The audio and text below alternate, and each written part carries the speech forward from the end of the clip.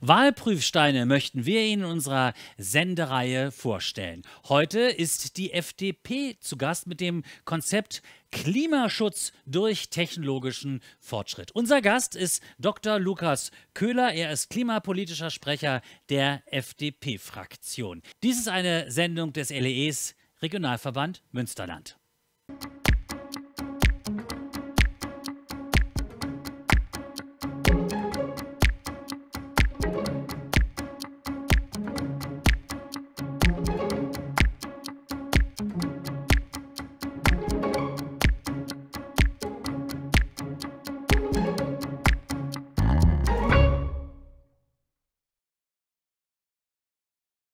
Dr. Köhler kommt eigentlich aus Bayern, ist Bundestagsabgeordneter, habe ich schon gesagt, und klimapolitischer Sprecher der FDP-Fraktion. Aber Sie passen regional doch ganz gut zur Sendung, weil Sie haben in Monheim am Rhein, das ist Regierungsbezirk Düsseldorf, Ihr Abitur äh, gemacht. Was hat Sie denn an den schönen Rhein verschlagen?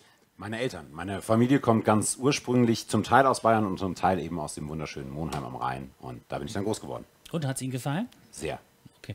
Müssen Sie jetzt auch sagen. Aber nirgendwo ist die Welt so schön wie am Rhein. Im Hintergrund sehen Sie Thomas Voss. Er ist äh, Vorsitzender des LEEs Regionalverband Münsterland und Anton Wissing, er ist Mitglied im Vorstand. Nur, dass Sie Regularien wissen, die machen so ein bisschen Jury. Die haben rote, gelbe und grüne Karten, können sich dann melden. Ja? Nicht, dass ein Missverständnis entsteht. Wenn eine gelbe Karte gezogen wird, dann freuen Sie sich natürlich. Ja? Aber das heißt im Prinzip eigentlich nichts Gutes. Ja? Okay. So, jetzt geht's aber los. Ähm, Sie sagen Klimaschutz durch technologischen Fortschritt und sagen, Klimawandel ist ein globales Problem, das nur durch technologischen Fortschritt lösbar ist. Ähm, wir sagen ja, wir wollen Emissionen reduzieren, wir wollen auch Verbräuche reduzieren. Sie wollen die Technik ansetzen. Bill Gates hat es in seinem Buch gerade auch so ein bisschen geschrieben. Sie wollen es mit Technologie lösen. Ja gut, Bill Gates spricht ja viel über Atomenergie. Ich sage mal, in Deutschland ist das Thema im Moment zumindest keine äh, Option. Und wenn sich in der Zukunft irgendwann mal der absolute Superreaktor entwickeln würde, den man einsetzen kann, kann man drüber nachdenken. Für uns ist das aber kein Thema. Für uns ist wichtiger zu sagen, dass wir ein klares CO2-Limit brauchen, weil jede technologische Fortschritt, jede Entwicklung, jeder äh, Fortgang, den wir ja in allen Bereichen der Entwicklung aktuell sehen, ja, in der Geschwindigkeit, wie sich auch Kostenstrukturen verändern, all das kann nur dann unterstützt werden, wenn es einen klaren politischen Rahmen gibt. Und der politische Rahmen, der reizt dann wiederum durch die Marktwirtschaft Innovation, Fortschritt an. Das ist unser Grundkonzept. Wir haben ja in Deutschland das Erneuerbare Energiengesetz. Äh, die FDP möchte am liebsten damit Schluss machen. Ihr Instrument ist der Emissionshandel. Genau.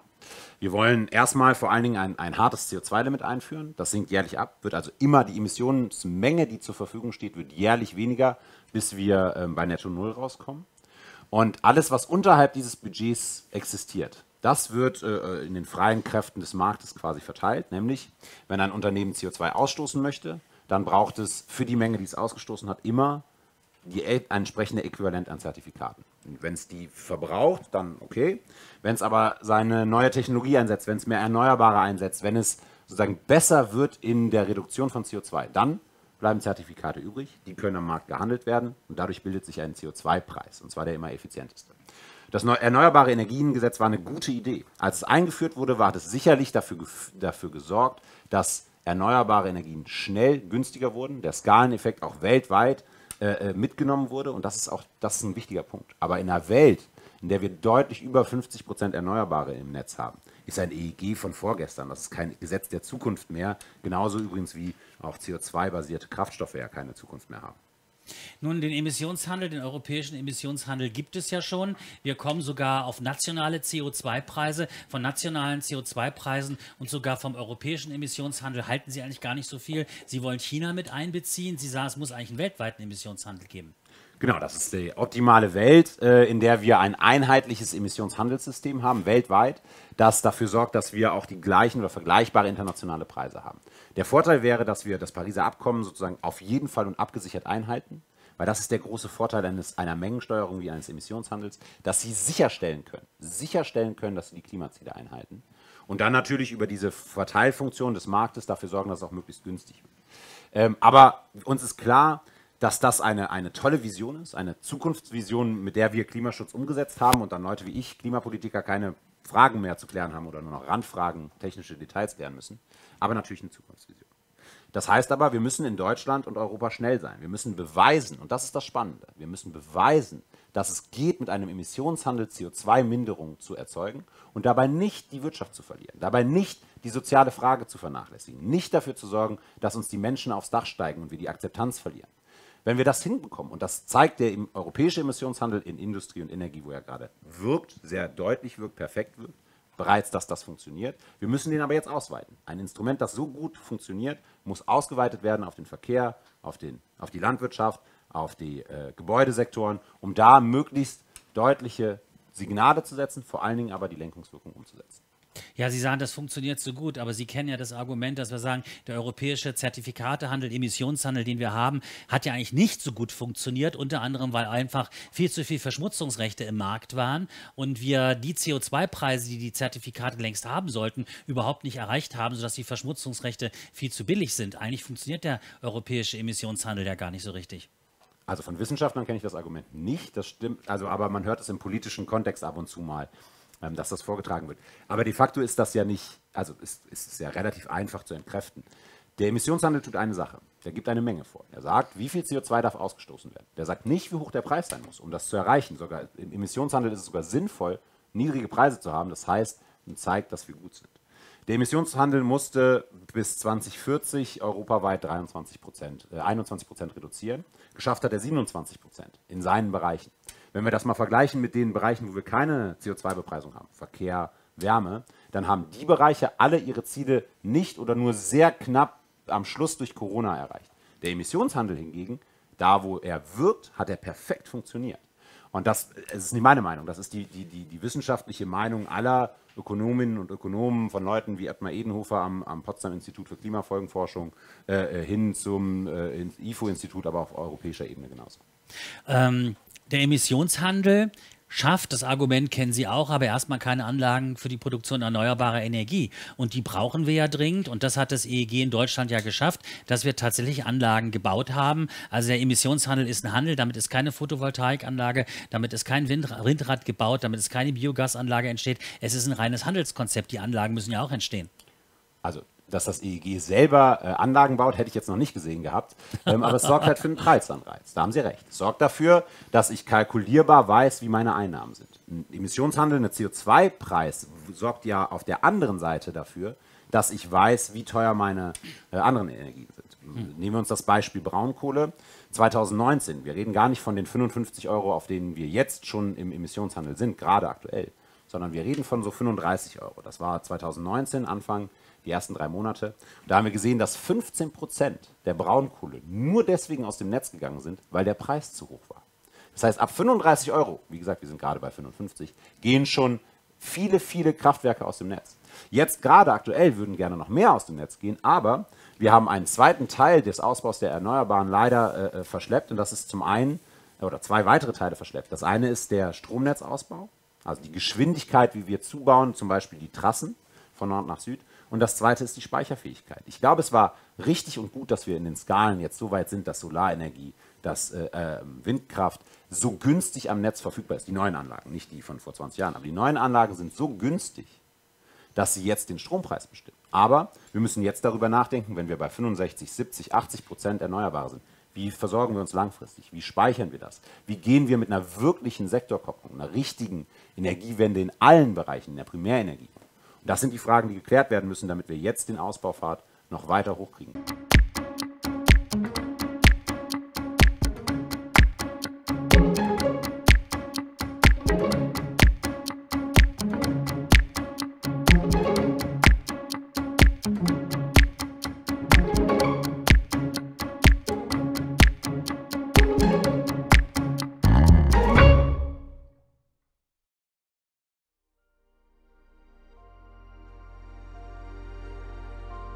Ja, hier bei uns im Letterbruch entsteht gerade einer der größten Windparks in Nordrhein-Westfalen. Wir sind als Embergy Verbund mit den Stadtwerken aus Coesfeld und Borken ganz besonders stolz, dass wir hier durch so konkretes Handeln vor Ort überzeugen können.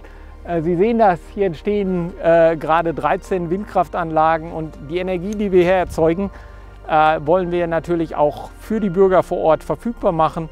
Es gelingt uns insbesondere deshalb, weil wir zwei starke Städte hinter uns haben, die das Thema mit uns voranbringen und weil wir Kunden haben, die auch verstehen, dass man mit regionalem Engagement auch am meisten für die Energiewende vor Ort leisten kann. Ich freue mich, dass wir hier in Coesfeld regionalen und vor allen Dingen erneuerbare Energien herstellen und zwar in so einem Ausmaß, dass wir als Stadt Coesfeld jetzt hier bilanziell stromautark sind. Ja, hier an den Windkraftanlagen können wir einfach sehen, wie wir im Energy-Verbund die Investitionen auch für die Netze ermöglicht haben, sodass man regenerative Energien, wie wir hier mit dem Windkraft haben, anschließen kann. Dadurch, dass wir hier entsprechend äh, beteiligt sind, haben wir die Möglichkeit, uns mit regionalem Strom durch Windkraft erzeugt auch zu versorgen. Unsere Stadtwerke werden diesen Strom anbieten unter dem Slogan Mein Stadtwerke Strom Regio, aus der Heimat für die Heimat.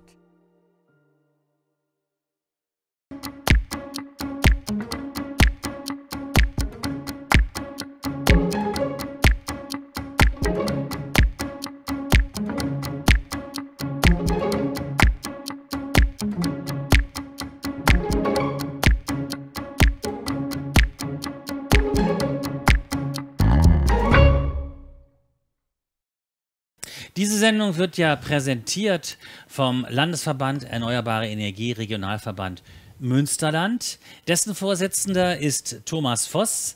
Herr Voss, was macht eigentlich der LEE? E? Der LEE e setzt sich ähm, in NRW, aber auch darüber hinaus im Bund ähm, dafür ein, dass die erneuerbaren Energien äh, weiter ausgebaut werden können, ähm, dass die Unternehmen in der Region im, äh, in NRW ähm, weiter wachsen können und äh, ja, die Energiewende voranbringen. Es gibt ja verschiedene Verbände, die sich um den Ausbau der Erneuerbaren bemühen. Ähm, Sie setzen ja eine sehr regionale Spezifik, das heißt, Sie versuchen in der Region zu vernetzen, um sozusagen die Energiewende nicht nur politisch einzufordern, sondern auch innerhalb von Wirtschaftsunternehmen irgendwie zu verbinden und gemeinsam zu organisieren. Also Sie sind schon sehr unternehmerisch orientiert.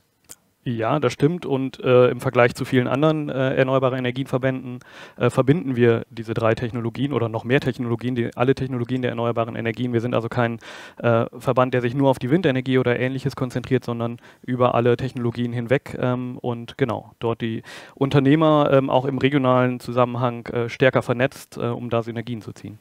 Ja, die Energiewende, meine Damen und Herren, findet ja leider nicht in den Großstädten so richtig statt, sondern sie findet in der Region statt. In den Großstädten oder Hauptstadt wie Berlin werden vielleicht die Gesetze gemacht, aber die Umsetzung ist etwas, was regional vor Ort gemacht wird. Wir haben gerade gesagt, der LDE ist äh, sehr gut in der Wirtschaft vernetzt, organisiert das. Hat sich eigentlich bei den Gewerbetreibenden im Münsterland hinsichtlich des Bewusstseins, Eigenenergie zu produzieren und zu nutzen, in den letzten ein, zwei Jahren etwas verändert oder steckt das da noch in den Kinderschuhen? Mein Eindruck das ist, dass im Münsterland ähm, die erneuerbaren Energien immer schon sehr im Fokus sind äh, in der Gesellschaft und natürlich dann auch in den äh, Unternehmen. Ähm, und mit wechselnder Gesetzgebung und äh, äh unterschiedlichen Marktgefügen äh, wird es jetzt natürlich auch für Unternehmen in der Region immer interessanter, auf eigene Energieerzeugung zu setzen. Kurz zum Münsterland ist ja Nordrhein-Westfalen, aber da denkt man immer Nordrhein-Westfalen, das ist Kohle, jetzt noch die Braunkohle, früher die Steinkohle. Aber das Münsterland, das hat sich ja nie als Kohleland begriffen. Äh, absolut nicht. Äh, es gibt äh, ein Kohlekraftwerk in Ippenbüren, aber ähm, hm. das Münsterland ist, glaube ich, in den letzten 20 Jahren ähm, schon Vorreiter, was die erneuerbaren Energien angeht, ähm, was auch eine akzeptierte Energiewende vor Ort angeht mit ähm, Bürgerbeteiligung etc. Ähm, und ich glaube, das Münsterland wird Stück für Stück ähm, immer mehr dazu führen, die Energieversorgung mit äh, für das gesamte Industrieland NRW äh, bereitzustellen. Wir machen in unseren Sendungen Wahlprüfsteine. Wir stellen die verschiedenen politischen Parteien vor. Ähm, wir haben ja früher immer NRW so als Herzkammer der SPD gesehen, aber im Münsterland haben wir doch sehr, sehr viele CDU-Bürgermeister. Es ist doch sehr, sehr stark konservativ geprägt. Ist es ein Unterschied, ob ein Landstrich konservativ geprägt ist oder nordrhein-westfälisch, Herzkammer SPD-mäßig an der Kohle hängt in Richtung Energiewende? Ich glaube, bundespolitisch macht es schon einen Unterschied, äh, wie es dann geprägt ist, das Münsterland, äh, die kurzen Wege dort vor Ort ähm, zu Bürgermeistern, egal welcher Couleur, ähm, und ähm, der enge Austausch äh, ermöglicht da äh, immer äh, Fortschritt, weil gesehen wird, was die Erneuerbaren für die Region erreichen können, äh, für die Wirtschaft vor Ort. Ähm, und da spielt ähm, diese schwer diese CDU-starke ähm, Wahl äh, nicht die große Rolle. Ähm, das, es gibt äh, Regionen, da ist es natürlich anders, Kom Kommunen, Gemeinden, äh, wo das dann stärker geprägt ist, ähm, dass es da schwieriger wird mit erneuerbaren Energien, aber im Großen und Ganzen sind die Erneuerbaren äh, in dieser Region äh, als wertvoll angesehen, egal welche Partei dort regiert. Unser Schwerpunkt in der Sendung ist ja so ein bisschen Windenergie. Nun pauschal von außen betrachtet äh, würde man sagen, naja, NRW als Windenergieland ist ein bisschen sehr ambitioniert, aber zumindest was das Münsterland angeht, muss man sagen, das stimmt nicht. Es gibt sehr viel Windenergie im Münsterland. Genau, das ist richtig. Ähm, der Windenergieausbau ist in verschiedenen Stufen im Münsterland erfol erfolgt. 2000 ähm, ganz ähm, die ersten großen Parks, die entstanden sind. Äh, in den letzten ja, sechs, sieben Jahren sind dann weitere äh, effizientere Anlagen gebaut worden. Und jetzt kommt die nächste Phase, wo die Altanlagen aus der Förderung rausfallen und wo jetzt ähm, repowered wird. Also äh, versucht wird zumindest äh, Altanlagen, äh, dort neue Anlagen hinzusetzen, sofern das möglich ist mit den aktuellen Kriterien, die dann äh, das Land NRW dort auch setzt, was es nicht einfach macht, diese Anlagen äh, zu repowern, ähm, weswegen sich viele mit dem Thema weiter nach der Förderung äh, beschäftigen müssen. Ähm, aber Windenergie spielt schon immer eine große Rolle im Münsterland. Ähm, genau. Repowering, was nicht ganz einfach ist, ist ja sehr vornehm von Herrn Voss formuliert, denn wir haben ja in der letzten EEG-Novelle die Situation gehabt, dass ursprünglich die Bundesregierung äh, eine Abstandsregelung für Windenergieanlagen ins EEG reinschreiben wollte. Das ist verhindert worden. Und dann hat man gesagt, komm, das machen wir jetzt in den Ländern. Und wups, das Problem ist, in NRW ist sowas ja im Prinzip auch, Abstandsregelung. Und das ist sicherlich ein großer Punkt des LEEs, wo man sagt, wenn wir ausbauen wollen, wenn wir repowern wollen, muss die Abstandsregelung weg. Genau, es muss, ähm, wir müssen die Möglichkeit haben, dort äh, eigene äh, Konzepte zu finden. Ähm, das Münsterland ist sehr zersiedelt. Ähm, das heißt, wir haben nicht diese großen freien Flächen wie äh, in anderen Regionen in Deutschland, sondern wir haben immer wieder mal eine Hofstelle äh, in der Nähe. Und da müssen wir die Möglichkeit haben, und das hat in der Vergangenheit auch gut geklappt, in Gesprächen mit den Anwohnern vor Ort dort Lösungen zu finden, ähm, wo alle mit zufrieden sind. Und eine pauschale Abstandsregelung ist da aus unserer Sicht nicht der richtige Weg, um äh, die Akzeptanz zu schaffen. Denn im Münsterland sieht man, dass man auch mit geringen Abständen Akzeptanz bei den Bürgern vor Ort schaffen kann. Also das ist aus unserer Sicht nicht der richtige Weg. Ja, das Thema Akzeptanz ist ja ein sehr wichtiges Thema. In der Öffentlichkeit wird immer der Eindruck vermittelt, sobald eine Windenergieanlage gebaut werden soll, äh, gibt es massiven Bürgerwiderstand. Das wird auch sehr, sehr stark getriggert, das wird berichtet. Anfangs war ja so vor 20 Jahren, war die Windenergie sehr gut beleumundet. Man hat äh, meiner Meinung nach sehr, sehr viel getan, um Windenergie schlecht zu beleumunden. Äh, wenn Sie in Münsterland gehen, also bei den Projekten, die ich kenne, ist es im Münsterland nicht so gewesen, dass die Bürger groß gegen die Energiewende auf die Straße gegangen sind. Genau, im Großen und Ganzen ist es so, dass die Bürger ähm, mitgenommen wurden von den Akteuren, ähm, die häufig dann aus der Landwirtschaft vor Ort kamen. Ähm, also die Flächeneigentümer, die gesagt haben, wir schieben diese Projekte jetzt selbst an. Ähm, ein Beispiel ist äh, Anton Wissing, der auch äh, hier in, im Gespräch ist. Äh, und ähm, wir nehmen die Bürger vor Ort mit äh, und schaffen so die Akzeptanz und so können dann ähm, Bürger, größere Bürgerproteste verhindert werden, ähm, sondern die, die Bürger sind begeistert. Das schönste Beispiel, ähm, was ich kenne, ist aus dem Steinfurter Raum, wenn man da sagt, Bürgerproteste, so, das gibt es da nicht. Wenn da mal irgendwo eine Trafotür oder so offen stehen sollte von einem Windrad oder ähnliches, dann rufen die Bürger, die vor Ort sind, an und bei dem Windpark an und sagen, da stimmt irgendwas nicht. Mhm. Ähm, alle definieren das als ihren eigenen Windpark vor Ort und leben diese ganze Energiewende und diesen, diese Windenergie im Prinzip mit. Wenn man sich das Münsterland anguckt ähm, und sich anschaut, wie viel regenerative Energie produziert wird, vor allem auch durch Wind, dann ist das Münsterland locker zu 100 Prozent regenerativ versorgt. Genau. Einige Kommunen äh, und Kreise sind, äh, da geht es dann noch drüber hinaus. Ähm. Was steht denn in Zukunft an Planung für Windenergie im Münsterland an? Ähm, Genau, das große Thema ist jetzt das Thema Repowering. Das beschäftigt viele. Ähm, es gibt, äh, Repowering hat den großen Vorteil, dass die Anlagen, dort stehen schon Anlagen, die äh, Bürger vor Ort haben sich daran gewöhnt, sie kennen das ähm, Thema Windenergie und auch wenn die Anlagen jetzt etwas höher sind und größer, ähm, ist die Akzeptanz trotzdem schon da und das ist das große Thema, mit dem wir uns im Münsterland äh, jetzt beschäftigen, zu gucken, dass wir die alten Anlagen modernisieren können, dort weiterkommen und so dann auch die Leistung und die Betriebsstunden der Anlagen erhöhen können und dann einfach mehr Energie erzeugen können, mehr saubere grüne Energie. Wenn Sie Repowering machen wollen, fangen Sie dann ein Genehmigungsverfahren wieder äh, ganz von vorne an? Ja. Oh. Im Wesentlichen ist es so, genau, ähm, dass man dann die Anlagen neu genehmigen muss. Das ist natürlich sehr mühselig äh, und macht es auch diesen kleineren Akteuren nicht so leicht. Wir haben äh, auch mit dem EEG die, das Ausschreibungsmodell äh, für Windparks ähm, bekommen, wo die äh, Windparks an dieser Ausschreibung teilnehmen müssen. Die müssen also erstmal hohe Risiken vorher eingehen, müssen die Genehmigung für diese neuen Projekte bekommen, müssen dann in die Ausschreibung gehen mit dem Risiko, dass sie dort keinen Zuschlag kriegen.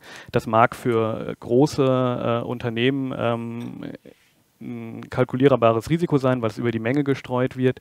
Ähm, für kleinere ähm, Projektierer oder die Bürger vor Ort, ähm, die dann wirklich im Münsterland die Energiewende voranbringen wollen, äh, für die wird es natürlich deutlich schwieriger, weil die Risiken einfach steigen. Ähm, das ist ein, ein Hemmnis äh, beim Ausbau der erneuerbaren Energien, weil es tatsächlich dadurch auch die Akzeptanz äh, gefährdet. Viele Zuschauer und Zuschauerinnen kennen sich mit Windenergie aus, weiß ich. Und Windenergie äh, befindet sich in der Ausschreibung.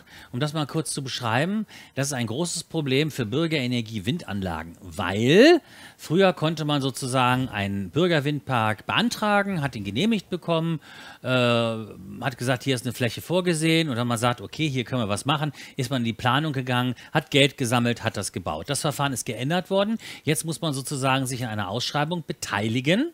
Das heißt, man muss die ganze Planung, die ganze Organisation, alles vorher machen und hoffen, dass man die Ausschreibung gewinnt. Und wenn man die Ausschreibung nicht gewinnt, kann man kein Windrad bauen. Das hat die Genossenschaften natürlich extrem unter Druck gesetzt, setzt sie extrem unter Druck, weil sie natürlich das ganze Geld, den ganzen Aufwand vorher investieren müssen und gar nicht wissen, ob das überhaupt sozusagen dann gemacht werden kann. Das, Herr Voss, ist wirklich ein Riesenhemmschuh für Bürgerenergiegenossenschaften. Genau, und damit für die Akzeptanz. Ähm, dieses Ausschreibungsmodell ist ursprünglich ja eingeführt worden, um Akzeptanz zu schaffen, um die hohen äh, Kosten zu senken, ähm, die Erneuerbare erzeugen ähm, durch die EEG-Umlage. Ähm, aber das äh, aus äh, meiner Sicht oder aus unserer Sicht führt das nicht zu einer höheren Akzeptanz ähm, dieser Ausschreibung und die Kostensenkung. Dann es geht darum, die Bürger vor Ort mitzunehmen äh, und das kann damit dann wird dadurch immer schwieriger und macht es großen Akteuren, die dann aus der Ferne quasi diese Windparks verwalten, die zum Teil Gewerbesteuer aus den Regionen rausziehen, ähm, dann äh, deutlich leichter. Ja, wir hatten in der letzten Sendung, muss ich noch kurz ansprechen, auch das Thema Bioenergie gehabt. Auch das spielt im Münsterland eine Rolle, aber es ist nach der aktuellen Gesetzgebung, was gerade läuft, kann man eigentlich Bioenergie nicht ausbauen. Wie ist die Position vom LEE dazu? Sagt man, wir wollen trotzdem Bioenergie mehr ausbauen oder nur als Spitzenlast zur Verfügung haben? Wie nähert sich der LEE im Regionalverband Münsterland dem Thema Bioenergie? Bioenergie ist im Münsterland ähm, auch schon seit Jahr Jahren, Jahrzehnten ein wichtiger Baustein. Es gibt viele kleinere, aber auch größere Biogasanlagen in der Region. Wir sind eine Veredelungsregion landwirtschaftlich äh, gesehen und haben dort äh, viel Gülle etc., die verwertet, kann in, äh, verwertet werden kann in Biogasanlagen. Ähm, Bioenergie ist eine teure Energieform, ähm, hat aber ihren, ihren Sinn und ihren Zweck in äh, bestimmten Bereichen wie äh, Ausgleich von äh, Netzschwankungen mhm.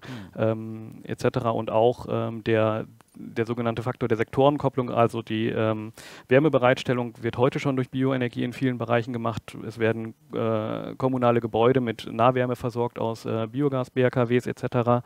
Ähm, aber auch die Mobilität ist ein Thema, was in Zukunft äh, immer wichtiger wird und wo Biogas direkt schon die richtige Form der Energie zur Verfügung stellt äh, für bestimmte Bereiche wie äh, Schwerlastverkehr etc. Wir machen ja diese Sendung im Rahmen des Bundestagswahlkampfes mit den Wahlprüfsteinen. Ich sagte es ja schon, worum geht es? Es geht um die Zukunft des Ausbaus der Erneuerbaren, es geht um Klimaschutz, es geht hier in dieser Sendung vor allen Dingen um die Rahmenbedingungen, äh, die wir benötigen, um die Erneuerbaren ausbauen zu können. Wir haben es in der Auftaktsendung äh, schon gesagt zu dieser Reihe, es nutzt uns nicht zu sagen, wir wollen 600 Prozent regenerative Energie im Netz haben und noch ambitionierter, sondern es geht darum, dass wir das Ganze realistisch, realisierbar, ausbaubar bezahlbar machen müssen. Und genau daran hakt es. Welche Stellschrauben würden Sie sich beim LEE wünschen, dass die hier in Berlin oder auch auf Landesebene, es wird ja in Nordrhein-Westfalen gerade ein Klimaschutzgesetz diskutiert, an welchen Stra Stellschrauben muss wie gedreht werden, damit der Ausbau der Erneuerbaren im Münsterland richtig vorangetrieben werden kann? Also ein großer Hemmschuh ist, wie wir jetzt vorhin schon sagten, äh, der, der Bereich der Genehmigung, die Abstandsregelungen mhm. äh, und ähnliches. Das ähm, ist das, was im Moment sehr viel Zeit kostet, ähm, wo es gerade klemmt. Auch das Ausschreibungsmodell für kleinere Parks. Äh, es gibt ähm, von der EU die De Minimis-Regelung, äh, die sollte genutzt werden, äh, um es kleinen Akteuren äh, dort leichter zu machen und die Bürger vor Ort mitnehmen zu können. Ähm, das sind wichtige Punkte für den Ausbau der Erneuerbaren. Ähm, für den Ausbau, zu dem Ausbau der Erneuerbaren gehört aber letztendlich auch, dass die Erneuerbaren ähm, nicht weiter schrumpfen. Ähm, durch, das, äh, durch den Wegfall der Förderung führt es dazu oder kann es dazu führen, äh, dass Anlagen einfach äh, abgebaut werden müssen, weil es nicht, der Betrieb nicht mehr wirtschaftlich ist ähm, im aktuellen Strommarktdesign. Und deswegen ist es ein wichtiges äh, Ziel der äh, Bundesregierung, ähm, dort das Strommarktdesign entsprechend zu ändern, dass mhm. Äh, erneuerbare Energien fairer, einen fairen Markt haben, wo sie ihre Stärken ausspielen können. Ähm, wir wollen äh, zu 100% erneuerbaren Energien im Stromsektor kommen. Da können wir nicht in einem System leben, was noch auf ähm, konventionelle Kraftwerke, auf steuerbare Kraftwerke, die in Grundlast laufen, äh, ausgerichtet ist, sondern wir müssen dahin kommen, dass wir die Last ähm, entsprechend auch an die Erzeugung anpassen. Mhm. Mhm. Ähm, wir haben in der letzten Sendung das Thema Bürokratie äh, mhm. gehabt. Äh, das steht sicherlich auch auf Ihrer Agenda, dass wir wirklich in all diesen Bereichen bürokratische Vereinbar Vereinfachungen benötigen. Genau, das betrifft, ähm, wie gerade gesagt, die Genehmigung und die Projektierung. Das betrifft aber dann auch den Betrieb mhm. letztendlich. Wir haben es immer wieder, dass wir neue ähm, Aufgaben kriegen im Betrieb. Ähm, ganz aktuell das Thema Redispatch, wo ähm, kleinste Anlagenbetreiber, also ab 100 mhm. kW, sich Lösungen überlegen müssen, wie sie diese, äh, diese Meldepflichten erfüllen können, ähm, wo immer wieder neue Herausforderungen auf die Betreiber zukommen. Das mag funktionieren für große Akteure, ähm, für kleine Akteure, wie das bei uns im Münsterland der Fall ist, ist es einfach ein äh, wahnsinniges, äh, wahnsinniger Mehraufwand. Das Münsterland äh, hat viel Anlagenbetreiber, die quasi nach Feierabend Anlagenbetreiber sind, ähm, die eigentlich einen anderen Job haben und dieser, diese Bürokratie, die dort immer weiter aufgebaut wird, am schlimmsten ist es im Bereich Biogas, ähm, die ist dann irgendwann nicht mehr zu stemmen und äh, hemmt dann wieder den Ausbau. Darüber haben wir auch in der letzten Sendung gesprochen, dass für die Betreiber solcher Anlagen sich die gesetzlichen Vorgaben oder die regionalen Vorgaben ständig ändern, die tatsächlich ihre Auswirkungen auf den wirtschaftlichen Betrieb der Anlagen haben.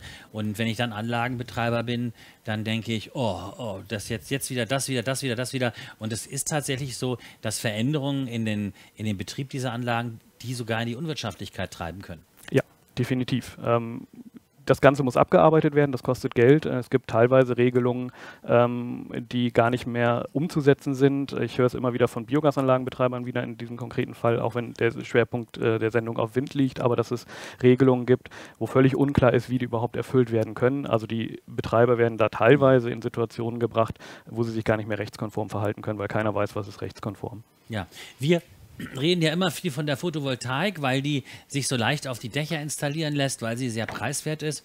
Wir müssen aber sagen, dass die Windenergie in ihrem Potenzial äh, enorme Möglichkeiten bietet, die Energiewende in der Bundesrepublik durchzusetzen. Ähm, Herr Voss hat es gerade gesagt, wir brauchen da gerade mal dieses Repowering besonders, weil da können wir gewaltige Kapazitäten gewinnen. Wir brauchen noch neue Windräder, aber das ganz große Potenzial ist tatsächlich dieses Repowering. Im Münsterland auf jeden Fall, ja, genau. Ähm, da steckt das große Potenzial, weil in den letzten Jahren ähm, dort schon viel gemacht werden konnte. Ähm, das EEG hat letztendlich ja auch den, das Ziel gehabt, Technologien voranzubringen, äh, wirtschaftlicher zu machen, Effizienzvorteile zu schaffen. Das haben wir im Bereich Windenergie in den letzten Jahren massiv gehabt. Die Anlagen werden immer leistungsfähiger, haben immer höhere Volllaststunden. Ähm, da, damit wäre das Ziel oder ein wichtiger Schritt in diesem äh, des, des, Ziels des EEGs ja schon erreicht. Ähm, aber jetzt stoppen wir das Ganze und sagen, nee, diese neuen Anlagen, die wollen wir eigentlich gar nicht mehr haben haben. Wir bleiben bei diesen alten, relativ ineffizienten Anlagen und nutzen nicht das Potenzial, was wir haben. Und das ist aus meiner Sicht äh, fahrlässig. Wir haben ja hier in der Sendung viele Kandidaten aus Nordrhein-Westfalen, aus dem Münsterland, die wir präsentiert haben, die wir noch präsentieren werden. Äh, der LEE ist mit all diesen Kandidaten, ist mit vielen Entscheidungsträgern im Gespräch. Ähm, inwieweit nehmen die quer durch die Parteien ihre Anregungen eigentlich aus der Region auf? Transportieren das hoch oder müssen Sie sagen, wir stellen fest, dass die willigen Abgeordneten, die willigen Kandidaten letztlich an der großen Politik der Bundesregierung, die alles andere ist als eine Energiewendepolitik, dann doch scheitern und nichts bewegen können? Wie sind denn da so Ihre Erfahrungen, Verbesserungen, Veränderungen durchsetzen zu können als Verband? Also in der Vergangenheit ist es schwer gewesen, wirklich große Veränderungen ähm, zu erzielen mit der Politik. Ähm, mhm. Die Abgeordneten sind häufig äh, willig, betonen immer, wie wichtig der Klimaschutz ist und der Ausbau der erneuerbaren Energien. Ähm, aber dann sind es nur kleine Stellschrauben, die man tatsächlich dann äh, nochmal hier und da verbessern kann für die einzelnen mhm. Technologien in den Gesetzen. Ähm, aber diesen großen, äh, den großen Wurf, dass wir jetzt mal wirklich wieder ins Rollen kommen und den Ausbau der Erneuerbaren wirklich jetzt voranbringen, ähm, das ist nicht zu erreichen. Da sieht es häufig nach Lippenbekenntnissen der Politik aus.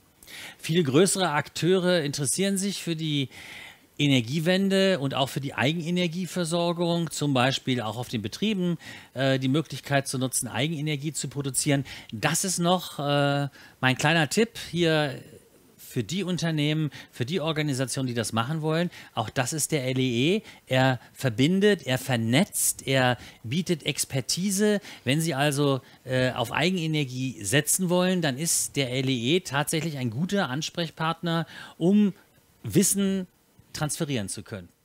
Genau. Es ist, äh, wie wir vorhin schon sagten, es wird immer unübersichtlicher in der, in der Energiewirtschaft im Bereich der erneuerbaren Energien. Und da ist ein Partner, der einen informiert, ähm, als Anlagenbetreiber ähm, sehr viel wert. Ähm, und das merkt man immer wieder, dass es Anlagenbetreiber ist, gibt, die über andere Wege mitbekommen, ähm, weil sie noch an einem Windpark beteiligt oder, oder sind oder so, dass für ihre PV-Anlage ähm, irgendwas Wichtiges entschieden wurde und ich muss jetzt was tun. Ähm, aber es gibt keinen Kanal und da kann der LEE auf jeden Fall unterstützen. Der LEE informiert regelmäßig mit Mailings über aktuelle Entwicklungen ähm, und da ist das definitiv ein Mehrwert. Der Austausch mit anderen Beteiligten, mit ähm, Unternehmen, aber auch mit anderen Betreibern ist aus unserer Sicht, so funktioniert das Münsterland, ähm, sowieso immer Gold wert ähm, und äh, ich kann es nur empfehlen, äh, den LEE da äh, Mitglied im LE zu werden. Ja, wir haben ja hier ganz interessant schon viele interessante Protagonisten aus dem Münsterland gehabt. Die sind ganz unterschiedlich, die sind ganz bunt, die sind alle total engagiert. Die Energiewendebewegung äh, ist bunt und sind auch im LEE e im Münsterland dort vereinigt. Herr Voss, wie sind Sie denn in die Fänge der Energiewende geraten? wie ich. Oh Gott, das, äh, ich habe äh, Energie, Energie, studiert letztendlich, äh, okay. äh, Wirtschaftsingenieurwesen, Energietechnik und bin dann äh, vor Ort, ich habe in Steinfurt studiert, wo ich auch geboren wurde und bin dann vor Ort über einen Studentenjob in ein Unternehmen gekommen, wo es um das Thema Biogas ging und bin da immer weiter in das Thema Vermarktung von Energie ge, gerutscht und bin jetzt so Stück für Stück auch eigentlich durch fast alle Technologien einmal durchgewandert, ähm, sodass ich dann einen Verband wie der LEE ähm, eigentlich äh, naheliegend ist, der sich mit diesen Technologien äh, beschäftigt, wo man dann alles gemeinsam denkt. Wir haben das in der Sendung äh, mit Herrn Krischer schon gehabt, dass äh, die Vorgaben, haben wir auch gerade schon wieder besprochen, sich ständig verändern, äh, für die Wirtschaft sozusagen das gar nicht planbar ist, was jetzt eigentlich kommt. Dann gibt es neues Gesetz, mal dürfen wir Biogas machen, dann wieder nicht, dann dürfen wir Wind machen, dann wieder nicht, Photovoltaik, dann kommt plötzlich die Freifläche, dann wieder nicht und so weiter und so fort. Sind Sie denn sicher, dass Ihre berufliche Entscheidung richtig ist, sich mit diesem diversen Thema, was so viel politischen Ärger macht und so viel Widerstände hat, überhaupt hineinbegeben zu können? Oder wäre so ein schöner Maschinenbauingenieur, der so einen Motor für Daimler-Benz entwickelt, nicht viel schöner? Schöner gewesen. Also ich glaube, einen Motor für Daimler-Benz zu entwickeln, da würde ich mir jetzt im Moment mehr Sorgen machen um meine berufliche Zukunft. Ähm, geantwortet, ja. Ne? es ist schwierig, aber ich glaube, es ist, es ist definitiv die Zukunft, äh, egal wer, äh, was da jetzt kommt. Und ähm, auch wenn es vielleicht mal schwieriger werden sollte, es ist auf jeden Fall ein Job, der immer äh, viel Spaß macht, der nach vorne denkt und äh, also da bereue ich nichts. Vielen Dank, Peter Voss und wir Thomas. machen weiter.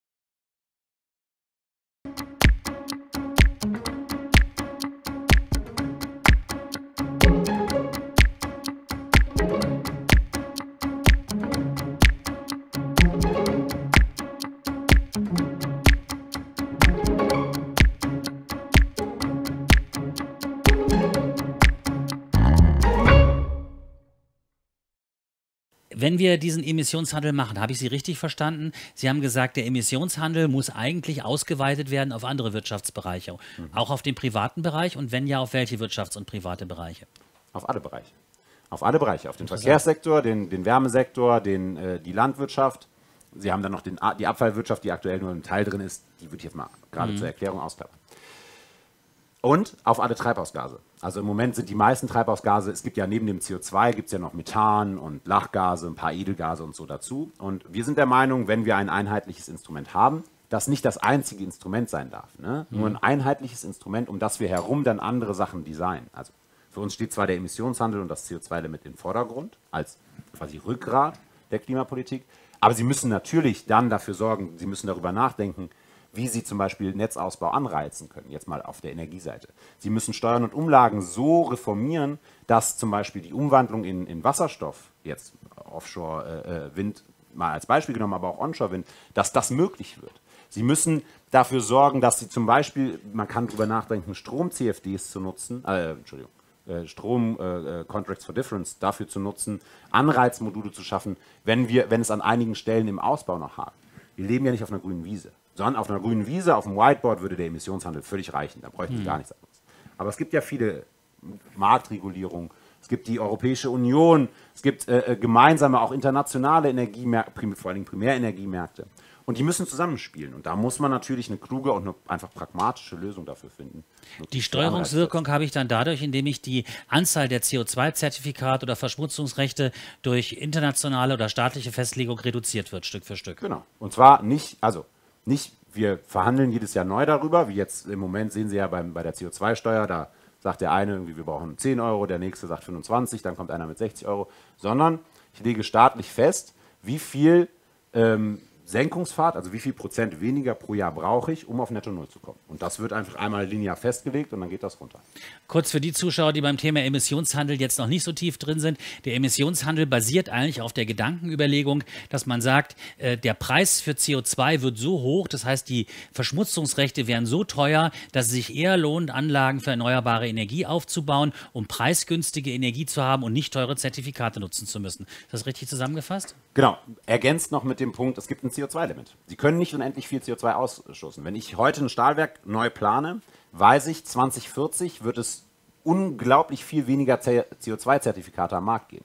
Wenn ich also heute ein Stahlwerk plane und weiß, okay, das wird mal richtig viel CO2 ausstoßen, weil ich es immer noch mit Kohlekoks betreibe, dann weiß ich, im Emissionshandel ist dadurch, dass es verboten ist, ab 2040 eine gewisse Menge X auszustoßen im Gesamtmarkt. Wenn ich aber jetzt schon weiß, dass ich dann wahrscheinlich mehr Zertifikate brauche, dann werde ich Strafe dafür zahlen. Und zwar nicht nur den CO2-Preis, der aktuell besteht, sondern so Strafe, dass es dann auch wehtut. Das heißt, wenn ich heute weiß, 2040 gibt es keine Zertifikate mehr, ist die Menge niedrig, dann weiß ich auch jetzt schon, ich brauche ein neues, anderes, besseres, CO2-neutrales Stahl, äh, CO2 Stahlwerk.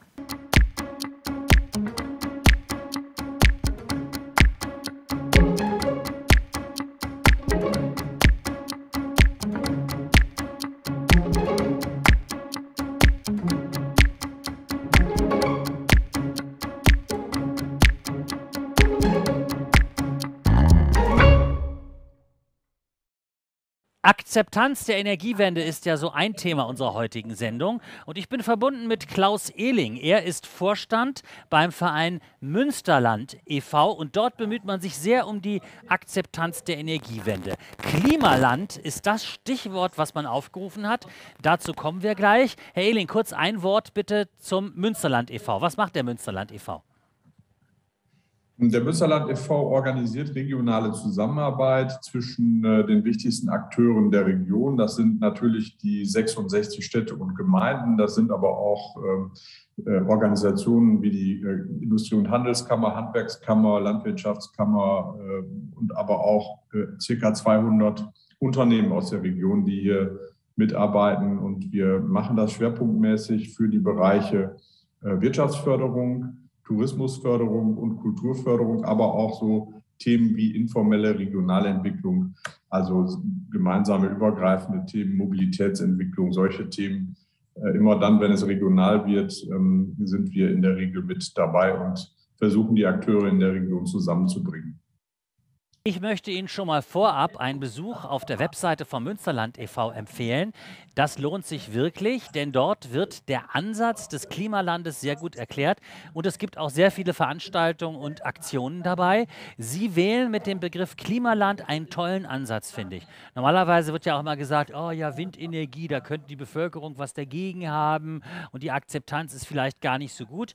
Wir haben im Verlauf unserer Sendung für den Landesverband Erneuerbare Energien festgestellt, dass es eigentlich gar nicht so viel Widerstand und Kritik an der Windenergie gibt, dass man die Leute im Münster Münsterland sehr gut mitgenommen hat. Was Sie aber sehr cool, sag ich einfach mal, machen, Sie integrieren die Windenergie ganz positiv unter dem Oberbegriff Klimaland. Was ist das Klimaland und wie integrieren Sie da das Thema Windenergie? Also das Klimaland ähm, sind äh, die Menschen in der, in der Region, die machen das nämlich hier und die machen das aus und ähm, jeder muss dazu seinen Beitrag leisten. Und ähm, letzten Endes spielt dabei natürlich die Windenergie eine, eine herausragende, eine große Rolle. Äh, wenn wir energieautark werden wollen, ähm, können wir äh, nicht ohne Windenergie arbeiten. Äh, und weitere ähm, Möglichkeiten der regenerativen Energieerzeugung sind natürlich auch mit dabei. Also zum Beispiel das Thema Photovoltaik oder auch, was wir hier in der Region auch haben, sind beispielsweise auch ähm, Biogasanlagen, die gut funktionieren. Ähm, die eben alle in der Kombination dazu beitragen sollen, dass wir äh, energieautark wirtschaften können.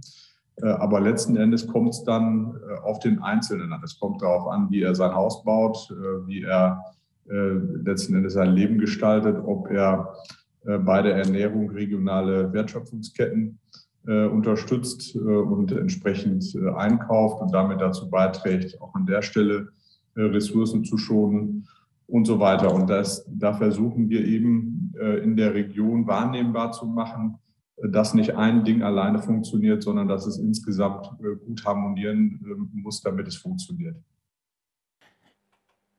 Sie machen ja sehr deutlich, dass Energiewende und alles, was dazugehört, Information und Aufklärung braucht. Und darum bemühen Sie sich ja sehr unter dem Stichwort Klimabildung. Was bedeutet das? Was bieten Sie unter der Klimabildung an?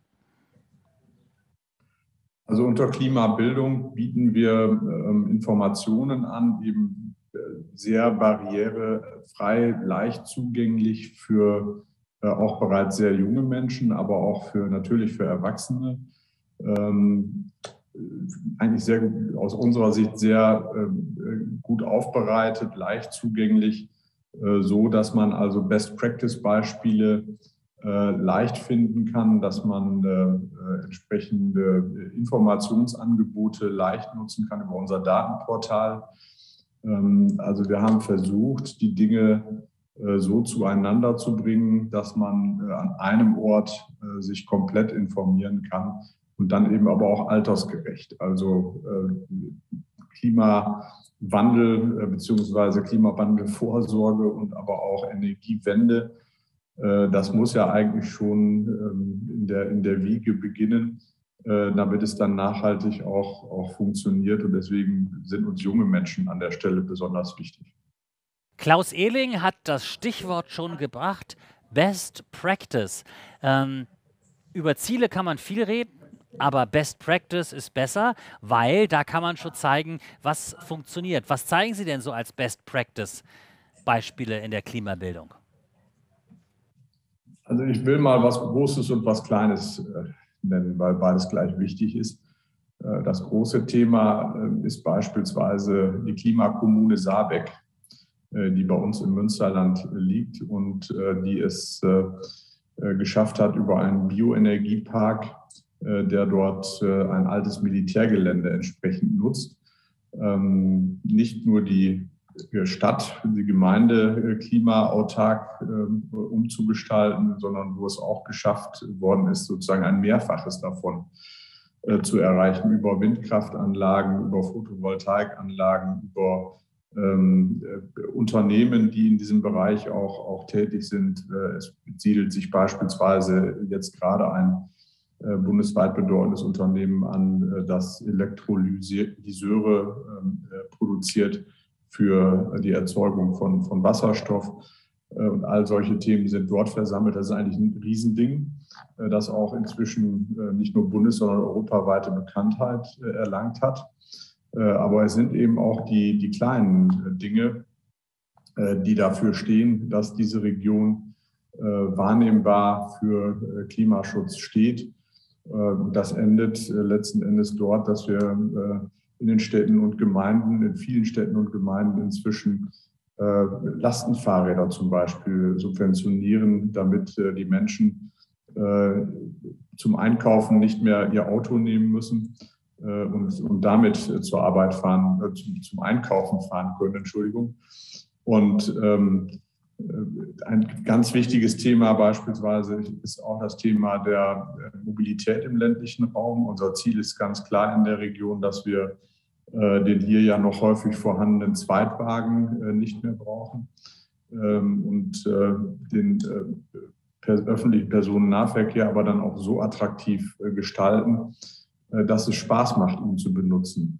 Nur dann wird er auch benutzt werden und auch nur dann werden junge Menschen zum Beispiel in der Region bleiben, ähm, weil sie eben Mobilität bekommen können, auch im ländlichen Bereich, ohne ein eigenes Auto selber kaufen zu müssen. Also äh, unser Ziel ist es, äh, zu erreichen, äh, in dem Bereich Mobilität beispielsweise, dass wir dort Metropolen wie Berlin so letzten Endes gleichrangig sind und das gleiche Angebot bieten können im öffentlichen Personennahverkehr. Was ich am Münsterland e.V. ja eigentlich auch ziemlich gut finde, ist, dass Sie als Regionalverband ja auch die Wirtschaft mit einbeziehen. Und was ich auch am Konzept gut finde, das habe ich am Anfang gesagt, Sie versuchen das Thema Klimaschutz ja positiv zu belegen. Sie sagen ja nicht, oh Gott, oh Gott, oh Gott, es ist furchtbar, wir dürfen nicht mehr und geht alles nicht mehr und Einschränkungen, sondern Sie zeigen ja gerade auf Ihrer Webseite, was es äh, für ein Gewinn ist, wenn eine Region Klimaschutz macht und belegen das sozusagen positiv. Wie empfinden Sie das bei der Wirtschaft? Betrachtet die Wirtschaft ihre Bemühungen für den Klimaschutz als Belastung oder lassen die sich in den positiven Drive so langsam mit einbeziehen? Ähm, wir nehmen die Wirtschaft an der Stelle sehr gut mit. Ähm, insbesondere deshalb, weil die Unternehmen im Münsterland, da sind ja zumeist kleine und mittlere Unternehmen, Familienunternehmen. Ich könnte Ihnen keinen Konzert, Konzern im Münsterland ansässig nennen und, und Sie dann schon gar nicht, gibt es nämlich auch nicht. Äh, sondern es sind ja eben vorwiegend Menschen, die in der Region verwurzelt sind, die diese ähm, Unternehmen leiten und, und, betreiben. Übrigens sehr erfolgreich betreiben. Wir sind die wirtschaftlich äh, mit erfolgreichste Region in Nordrhein-Westfalen, haben die geringste Arbeitslosenquote in der gesamten äh, Region im ganzen Land äh, und eine sehr, sehr gute Entwicklung, insbesondere seit den 70er, 80er Jahren, äh, haben so die Textil- Krise bewältigt und all das. Ähm, und das heißt eigentlich, dass so diese, die Unternehmen, die Wirtschaft mit der Region sehr gut mitschwingt, wenn ich das so sagen darf. Das sind nicht fremde Leute, die hier reinkommen, sondern das, die sind hier mitten, äh, mitten im Leben, mitten in der Gesellschaft. Und hinzu kommt noch, äh, dass wir einen erheblichen Fachkräftemangel haben und äh, wir natürlich und auch die Unternehmen äh, bemüht sein müssen, Menschen zu gewinnen, die in diese Region kommen wollen und die hier natürlich dann sich die Frage stellen müssen, gehe ich in diesen Lebensraum? Ist der attraktiv für mich? Und das wissen die Unternehmen, dass das eine, eine ganz entscheidende Rolle spielt äh, bei, bei äh, Lebensraumentscheidungen. Äh, und daher ist auch das Interesse der Unternehmen groß, dass die Region als solche insgesamt attraktiv ist, attraktiv bleibt, auch die Naturverbundenheit der Menschen, die wir hier haben, weiterhin eine große Rolle spielen soll, damit ähm, äh, der Lebensraum Münsterland ähm, attraktiv bleibt, aber auch noch an Attraktivität weiter, weiter gewinnt. Wir wissen und die Unternehmen wissen das natürlich auch, wir kriegen keine Menschen in die Region, die unbedingt in einer Metropole äh, leben wollen, äh, weil wir natürlich keine Metropole sind. Äh, aber unser Ziel, unser gemeinsames Ziel auch mit den Unternehmen ist, dass die Menschen begreifen, und so versuchen wir die Marke Münsterland auch wahrnehmbar zu machen, wenn ich nicht in einer Metropole leben möchte, dann kann es eigentlich nur das Münsterland geben. Und von daher ist das ein gemeinsames Interesse, äh, auch die Energiewende, äh, die Stärkung regionaler Wertschöpfungsketten, äh, das Thema Nachhaltigkeit, also nachhaltiges Wirtschaften auch in der Region positiv weiterzuentwickeln.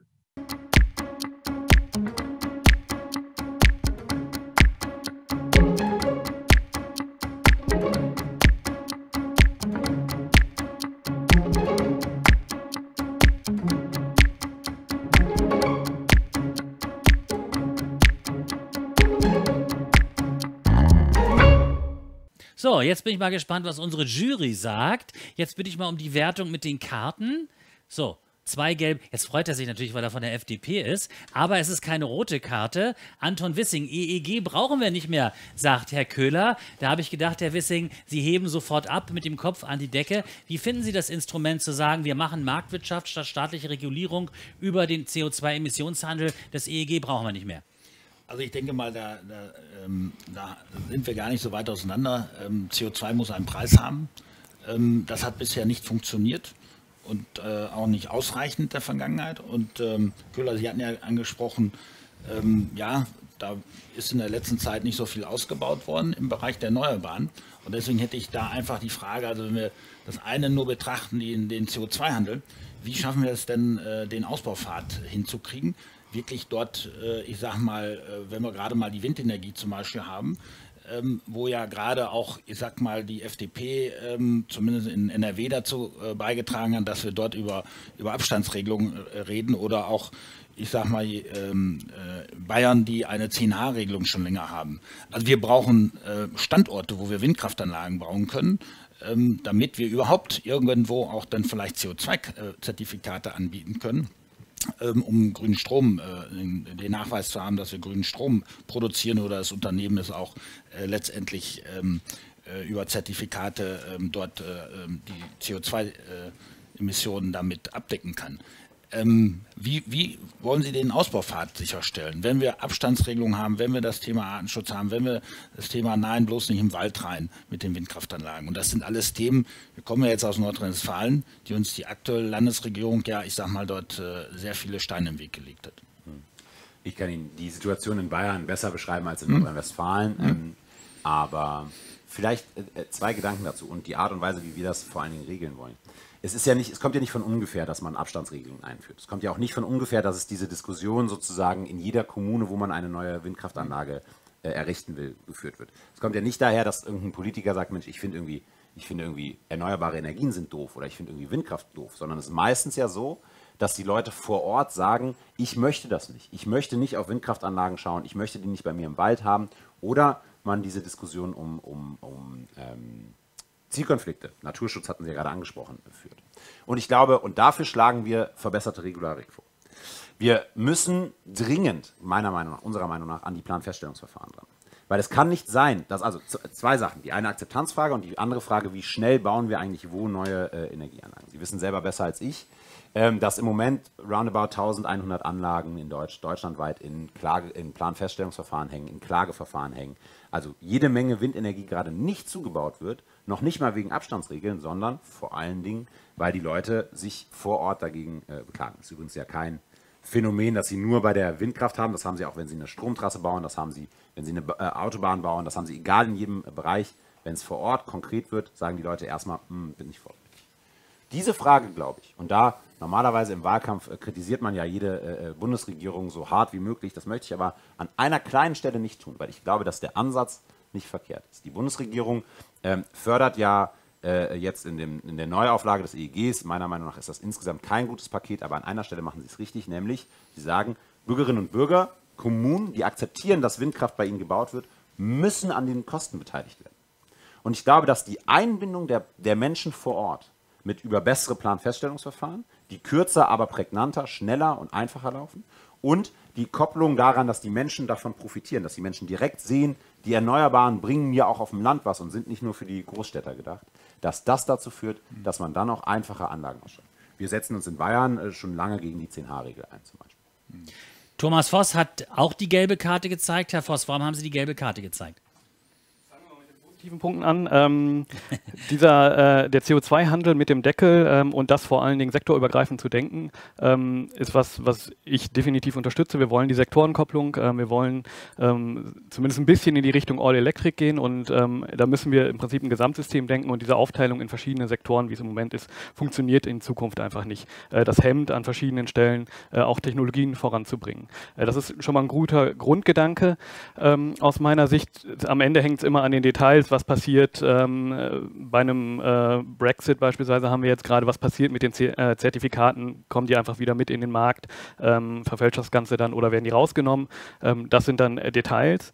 Ähm, wo ich ein bisschen stocke, ist die Abschaffung des EEGs. Äh, das EEG hat zum einen, wie Sie das ja auch sagten, äh, die Technologien vorangebracht. Zum anderen hat es aber auch dazu geführt, dass es äh, zumindest in vielen Regionen in Deutschland zu einer Demokratisierung der Energieerzeugung geführt hat. Das heißt, Anton Wissing ist ein gutes Beispiel, betreibt seinen Windpark vor Ort ähm, und ähm, er macht das so, er betreibt ihn so, er plant ihn so, ähm, dass er auch noch weiterhin gut aufs Schützenfest gehen kann, ohne dass ihm da einer äh, am, am äh, an der Theke blöd äh, anmacht wegen seinem Windpark. Ähm, ich hoffe, das ist noch nicht passiert. Ähm, und ähm, dass dieser Faktor droht mir da wegzufallen in dem Moment, weil ich befürchte, dass ähm, ein CO2-Zertifikatehandel ähm, dann wir, was wird, was äh, wir kriegen das in der Energiewirtschaft äh, bei den Erneuerbaren immer mehr mit, dass es immer äh, bürokratischer wird, immer komplizierter und so ein gerade auch europäischer oder weltweiter Zertifikatehandel wird dann sehr komplex. Und das ist die Frage, können das noch kleine Akteure, die vor Ort sind äh, oder ähm, können das dann nur noch die Großen, ähm, die dann wirklich sich damit äh, Manpower äh, aufstellen können, dann ist es natürlich gut, dass sich die beteiligt, also dass sich die Kommunen und die Bürger vor Ort finanziell beteiligen können. Das hat aber dennoch einen anderen, anderen Wert, ähm, wenn da die Akteure vor Ort sind, wo ich dann hingehen kann und sagen kann, diese Anlage, ähm, die ist tonal, da, ich kann nachts nicht schlafen, könnt ihr euch da mal drum kümmern. Das ist ein anderer Faktor, als wenn ich dafür nach ähm, Essen fahren muss, äh, zur Energy-Zentrale und mich da vorstelle und versuche irgendwie reinzukommen, ähm, weil äh, da letztendlich die Anlage Geräusche von sich gibt, die behoben werden können. Das ist ein Punkt, den sehe ich jetzt noch nicht. Also diese, diese, die Bürger vor Ort auch als Personen mitzunehmen, das fürchte ich fällt äh, dabei weg. Ähm, da wäre die Frage, ähm, haben Sie da Konzepte? Wie wollen Sie da vorgehen, abgesehen von einer ähm, gesetzlichen Beteiligung ähm, im finanziellen Rahmen. Der andere Punkt ist, ähm, der mir gut gefallen hat, äh, ist, ist, er kam aber nur kurz, äh, das Thema Entgelte reformieren. Ähm, auch als Windpark, auch als kleiner Windparkbetreiber, wir im Münsterland haben zunehmend das Problem, ähm, Paragraph 51 EEG, negative Preise. Ähm, wenn wir Anlagen planen, müssen wir äh, damit rechnen, dass wir bis zu fünf, vielleicht mehr Prozent unserer Umsätze verlieren, weil wir ähm, in diesen Zeiten, wo der Preis negativ ist, ähm, keine Vergütung bekommen. Und da muss, da muss was passieren, dass es zu Lastverschiebungen kommt. Sie sagten jetzt gerade kurz Speicher, aber auch ähm, an, äh, dann äh, der Verbraucher sich letztendlich anpasst und dafür Anreize hat. Das würde mich interessieren, was da das Konzept ist. Gerne. Ähm, vielleicht zum ersten Punkt EEG abschaffen. Das klingt natürlich brachial, aber ich glaube, man muss einem, jedes Instrument hat seine Zeit. Und das EEG hatte seine Zeit, als, es, als wir sozusagen den Hochlauf ausbauen mussten. Da bin ich, da bin ich total bei Ihnen. Ja? Auch was Sie gerade sozusagen an, an segensreichen Maßnahmen. Ich glaube nicht, dass das EEG perfekt war. Jedes Instrument, wenn ich es einführe, hat am Anfang Fehler und es hat auch über seinen Verlauf Fehler. Wenn wir Politikerinnen und Politiker einfach so ein perfektes Instrument hätten, bräuchte man uns ja nicht mehr. Ja? Deswegen muss man das anpassen. Man muss äh, flexibel und besser werden. Aber ähm, in einer Welt, in der die Erneuerbaren den Ton angeben, beziehungsweise einen Preis angeben, ist das EEG ja kein Instrument mehr, das dann sozusagen nach oben drauf gesetzt wird. Ein Instrument, das 20 Jahre lang eine Technologie fördert und dann dafür so nicht gesorgt hat, dass die, äh, die Technologie danach marktreif ist, stellt die Technologie in Frage. Und das darf nicht passieren. Das darf insbesondere bei erneuerbaren Energien nicht passieren, dass man sagt, das Ding läuft jetzt seit 2000 und es hat nicht geschafft, dass wir günstig genug geworden sind, um das umzusetzen.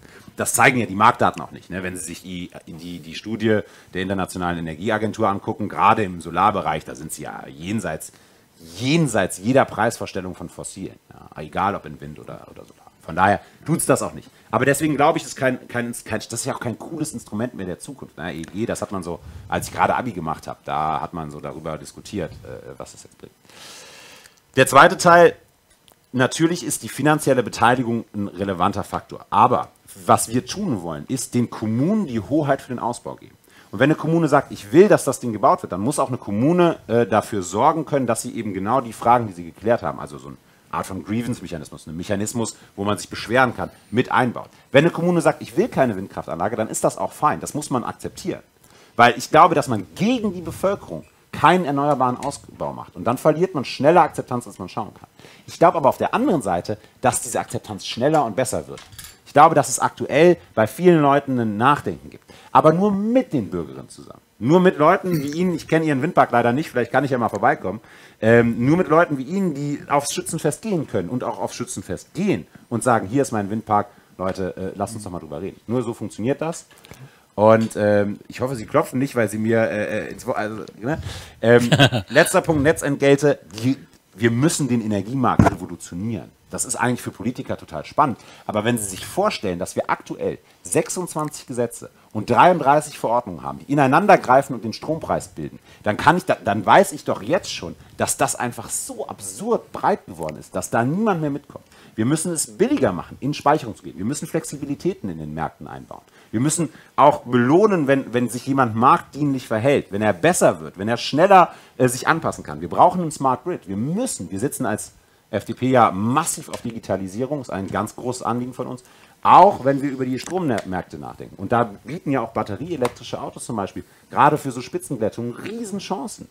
Die Idee von Heimspeicherung, also wie sagt nicht Heimspeicherung, also Speicher zu Hause quasi. Ne? Ja. Sie wissen alle, was Heimspeicher ist Heim, richtig. Heim, ja? war richtig. Heimspeicher zu sagen, die kopple ich aktuell sinnvoll mit meinem E-Auto oder mit meiner Wasserstoffheizung oder was auch immer und meiner Solaranlage und biete das aber dann auch noch im Netz an als, als Dienstleistung. Das ist doch die marktbestimmende, spannende Zukunft, in die wir rennen. Sie wollten noch kurz, Jury bitte? Ja, ähm, vielleicht nochmal, ähm, Sie sagen ja, Sie, Sie, kommen ja jetzt nicht aus dem Münsterland. Ähm, Im Münsterland kann man sagen, und wir sind im Land Nordrhein-Westfalen, glaube ich, Spitzenreiter in der Erzeugung der, der, ähm, im Bereich der Erneuerbaren. Und ähm, äh, auch aus den beiden Landkreisen, wo wir kommen, äh, Kreis Steinfurt, Kreis Borken, sind wir im NRW äh, unter den Top 3, ähm, die den äh, Ausbau der Erneuerbaren in den letzten Jahren sehr stark vorangetrieben haben. Und das haben wir geschafft, indem wir die Bürger mitgenommen haben. Und vielleicht nochmal zur richtigen, ich betreibe ihn nicht, sondern wir, wir Bürger betreiben den. Wir sind Bürgerwindparks, die wir bei uns vor Ort machen. Und ähm, und wir brauchen, wenn wir ähm, so etwas machen, brauchen wir eine gewisse Investitionssicherheit. So, und äh, da gibt uns das EEG aktuell ein paar äh, Rahmenbedingungen. Wir sind ja schon lange nicht mehr äh, an der Stelle, dass wir sagen, jo, es gibt irgendeinen äh, Preis, den man, der steht fest, sondern man muss ja in die Ausschreibung gehen. Und, äh, und das auch im Bereich Photovoltaikanlagen bei größeren Anlagen. Wobei, ob das den, bei den kleineren Anlagen wirklich Sinn macht, ist, ist die Frage, weil es dann keiner mehr macht ähm, den ganzen bürokratischen Aufwand. Das heißt, wir brauchen eine gewisse Investitionssicherheit. Und ähm, kommen Sie gerne mal ins Münsterland, äh, auch mit Ihrem Kollegen äh, aus dem Münsterland oder so. Wir können unseren Windpark mal besuchen. Ähm, und da können wir Ihnen das auch nochmal beibringen, dass es auch geht, dass wir die Akzeptanz hinkriegen. Also ich würde mal behaupten, dass wir in Münsterland eine sehr, sehr hohe Akzeptanz haben, eben durch die Dinge, wie wir es machen und nehmen auch die Bürger mit. Und deswegen brauchen wir, und ich komme nochmal auf das Thema zurück, wir brauchen Standorte, gerade im Windkraftbereich. So, und die Diskussion, die wir jetzt haben, die ja, ich sag mal, okay, die andere äh, aktuelle Bundesregierung ja ähm, über das Wirtschaftsministerium ja angestoßen hat, pauschale äh, Abstände über, über ganz Deutschland, wurde er jetzt ähm, äh, in, die, in die Länder äh, delegiert und in Nordrhein-Westfalen wird zum Teil dann bis auf die Kommune delegiert. Und da stehen dann die einzelnen Bürgermeister und die Lokalpolitiker dann, ich sag mal, äh, davor und müssen das den Bürgern wieder beibringen, warum sie denn jetzt doch eine Zone machen wollen, weil sie könnten ja größere Abstände zu Windkraftanlagen ähm, besch beschließen. Und das ist, glaube ich, die falsche Diskussion. Also neben dem Emissionshandel, wo wir vielleicht gar nicht so weit auseinander sind, müssen wir trotzdem Instrumente haben, wie wir den Ausbaufahrt hinkriegen, wie wir möglichst die Konflikte, die da sind, vielleicht auch äh, von Region zu Region sehr unterschiedlich, wie wir die begegnen und nicht einfach das EEG abschaffen. Das EEG hat ja auch noch, regelt ja auch noch andere Dinge. Netzzugang. Also wenn wir das EEG nicht hätten, würden wir wahrscheinlich äh, heute unabhängig von den Preisen, die man äh, für den Strom äh, erzielen kann, wird es schlecht aussehen. Nicht? Wir haben so schon äh, reichlich äh, zu tun, damit wir die Anlagen ans, ans Stromnetz kriegen.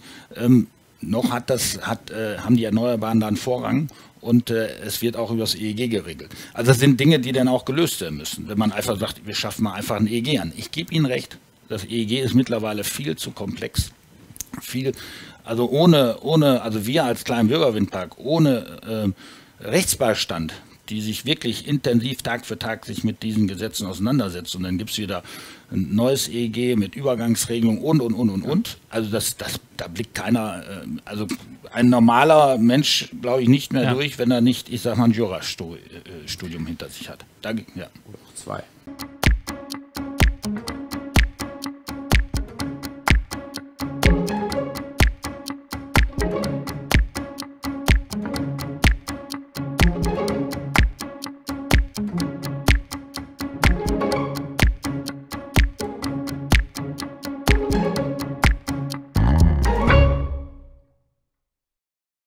Ich spreche mit Karl-Heinz Zurhold. Er ist schwerer Aktivist der Energiewende. In seinem Hauptberuf ist er, ich lese das mal vor, Geschäftsführer und Gesellschafter der Mülldeponie Altenberge GmbH und Co. KG. Und da fing er schon an. Er setzte frech eine PV-Anlage auf die Mülldeponie obendrauf und gleich noch zwei Megawatt. Das ist richtig viel. Zehn Jahre später stieg er dann mit dem Betrieb von einer Windenergieanlage in die Windenergie ein und gründete im Jahr 2002 den Windpark an der Landwehr und hat dort 13 Enercon E66 Windräder mit aufgestellt. Dort ist er bis heute Geschäftsführer. Darüber hinaus ist er Mitinitiator und Geschäftsführer von verschiedenen Kleinprojekten mit insgesamt fünf Enercon E70 Windrädern und er ist auch noch Mitinitiator der Energielandwerke und hat außerdem verschiedene Einkaufsgemeinschaften für den Kauf von Windenergieanlagen mitinitiiert. Ähm, also Herr Zurhold, ähm, Sie haben ja zumindest die Bezeichnung als widerspenstiger Staatsbürger damit verdient. Sie machen die Energiewende vor Ort. Sie sind Akteur. Ganz vorneweg, wir sprechen gleich über die Akzeptanz der Energiewende und die Schwierigkeiten. Ähm, hatten Sie zu viel Zeit? Hatten Sie nicht genug Ärger im privaten Leben? Warum machen Sie Energiewende? Entstanden ist es eigentlich mein erstes Windrad aus der Not heraus, weil die Deponie sollte mal geschlossen werden. Da habe ich gedacht, okay, irgendwie brauchst du noch Einnahmen für die Zukunft. Ja, und dann kam die erste Windradplanung, dann kamen die Nachbarn und haben gesagt, Kali, wer schon ein Windrad plant, der kann auch noch ganz viele planen. Daraufhin ist ein Gemeinschaftsprojekt entstanden mit den 13 Windkraftanlagen. Ein Netzwerk, weil man Anlagen muss man ja auch einkaufen. Also kauft man, bildet man diese Einkaufsgemeinschaften. Man lernt wiederum andere Leute kennen, die gleiche Interessen haben. Ja, und so ist praktisch über die letzten 20 Jahre ein umfangreiches Netzwerk entstanden. Und ja, wenn man sich einmal sozusagen vorgewacht hat, wird man auch immer wieder eingefangen. Kalü, ja, weißt, ja, sehr frech alles von Ihnen. Ähm, es wird ja immer viel von der Akzeptanz der Energiewende bei den Bürgerinnen und Bürgern gesprochen. Es wird immer gesagt, ja, Freiflächenanlagen für PV schlecht, versiegelt die Landschaft. Windräder, da gibt es wahnsinnig viel Einsprüche der Bürger und Bürgerinnen. Ähm, Stromnetzbau, viele Einsprüche der Bürgerinnen und Bürger. Ich habe vor kurzem einen ZDF-Bericht gesehen, wo die ganzen Projekte vorgestellt wurden für Netzausbau und nur bei den wenigsten Projekten gab es überhaupt irgendwelche Einsprüche. Ich habe immer so den Eindruck und in Ihrem Bericht sind ja auch viele Windenergieanlagen. Ich habe immer den Eindruck, der angebliche Widerstand der Bürger gegen Anlagen für die Erzeugung erneuerbarer Energien ist gar nicht so groß. Wie ist denn Ihr Eindruck? Also bei uns in der Region, muss ich sagen, hält sich das sehr, sehr stark in Grenzen. Teilweise ist es auch mal wirklich ganz lustig. Dann hat man eine Versammlung da sitzen, da sitzen 100 Bürger. Dann hat man drei, die dagegen reden und dann kommt irgendwann aus dem Publikum, Billy, jetzt halt mal die Klappe, stellt euer Projekt vor. Äh, genau, und ich habe manchmal an manchen Stellen haben wir ja auch schon mal massiven Widerstand gehabt in einer Kommune und da fällt dann auf, dass man eine kleine Gruppe hat, die unter Umständen sehr stark vernetzt ist und die der Kommunalpolitik da wirklich den Bären aufbindet oder die massiv unter Druck setzt und die große Mehrheit schweigt. Das ist immer das große Problem. Man hat also praktisch die Leute, die Akteure, so und dann hat man eben ganz viele, die, ich sag mal, über Internet, ich sag mal, wir haben es jetzt mit Corona erlebt, ich sag mal, Infraschall, irgendwelche wilden Sachen werden in den Raum geschmissen, die die Leute, gerade Infraschall, die verstehen die nicht, man riecht's nicht, man schmeckt's nicht, man hört's nicht. Da kann man immer schön Ängste mitmachen, wie früher mit dem Handy. Da ist Strahlung, die ist böse. Und ich sage mal, mit diesen unbekannten Ängsten wird dann also sehr geworfen. Aber viele sagen, ach nee, also das, was ihr da umgesetzt habt, ist so toll und die begeistern sich vor allen Dingen mit der Identifikation die letzten Jahre über Friday for Future. Entsteht ja auch ein grünes Gewissen und die Leute sagen, super, will ich mitmachen. Man wird ja mal gesagt, man muss die Leute einbeziehen, die Kommunen müssen auch Geld verdienen bei diesen ganzen Projekten. Ähm, ich persönlich weiß nicht, ob man den Leuten immer Geld versprechen muss, aber wie schaffen Sie denn die Akzeptanz in der Region, wenn Sie etwas machen? Wie gehen Sie denn auf die Menschen dort zu? Offen.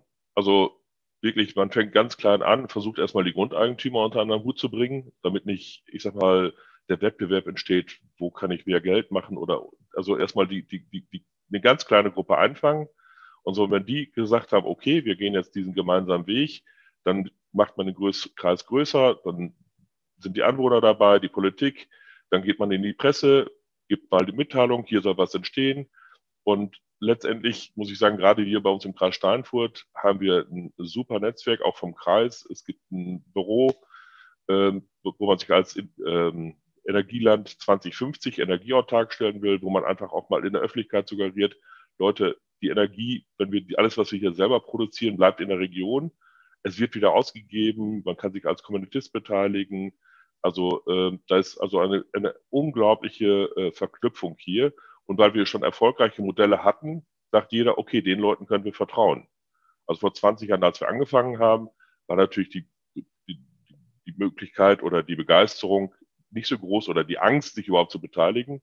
Und dadurch, dass wir hier gerade im Münsterland so viele erfolgreiche Projekte umgesetzt haben, werden wir inzwischen fast überrannt, also von den Leuten, die sagen, komm, da will ich mitmachen, da finde ich mich wieder, identifiziere mich, das macht Spaß. Unsere Sendung beschäftigt sich ja mit Wahlprüfsteinen. Wir wollen ja sozusagen auch ein bisschen formulieren, was wir brauchen, was wir wollen, um Energiewende weiterzumachen. Welche veränderten Voraussetzungen bräuchten Sie denn, um Energiewende verstärkt in der Region machen zu können? Also was mir sehr das Leben sehr schwer macht, ist diese, diese Springerei in der Politik. Jetzt haben wir in Nordwald, ach, in äh, NRW ja die Diskussion gehabt mit den 1000 Meter Abstand zur Wohnbebauung hin und her. Das verschafft bei den Kommunalpolitikern wieder Unsicherheit, weil die in ihren Planungen nicht weiterkommen, weil die Landesregierung nicht, also weil man nicht weiß, was will die Landesregierung. Und es wird also praktisch von der Politik permanent eine neue Sau durchs Dorf getrieben. Und jeder fragt jetzt, was muss denn jetzt passieren? Kann man nicht einfach mal einen Plan machen und sagen, okay, äh, und lässt den mal für eine Zeit stehen. Also dieses, dieses rein aus den Kartoffeln, rein in die Kartoffeln, das ist manchmal eine Katastrophe, also aus meiner Sicht. Und das macht gerade, ich sag mal, der Kommunalpolitik das Leben auch schwer. Vor allem, weil man jetzt ja anfängt, von oben alles nach unten zu delegieren auf den einzelnen Bürgermeister und der soll dann entscheiden, was in seinem eigenen Dorf passiert. So, und dann, wenn ich dann fünf Schreihälzer habe, dann hat er sofort schon, kriegt er kalte Füße. Also manchmal ist die Politik ja auch natürlich, gerade die Kommunalpolitik, überfordert. Das muss man einfach sagen. Also die sollen alle möglichen Entscheidungen treffen, die hochkomplex sind, wo es permanent Gerichtsurteile gibt, die sagen, du musst jetzt so entscheiden, du musst wieder so entscheiden, die Entscheidung in der Vergangenheit wieder falsch. Das ist das große Problem. Also irgendwo einfach brauchen wir mal eine Linie, wo wir wissen, okay, da können wir jetzt dann entlang planen.